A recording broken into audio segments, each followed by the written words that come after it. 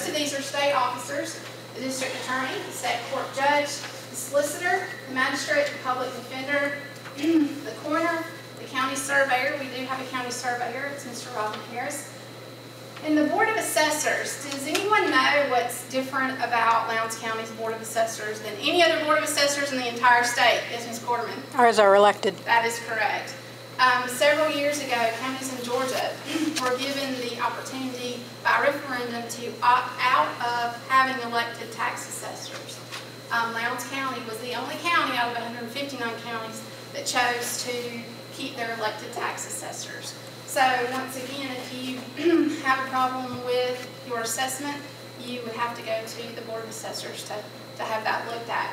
Um, they have a process that you go through through the Board of Equalization. Again, if you have any questions about your property values and how all that works, they have um, staff there that's willing to explain it to you. Many of them have been there for a long time. I know that they really look forward to sitting down and taking that time with you. Also, um, the tax value information is available on the county's website, website under real estate search, under the quick links on the right-hand side.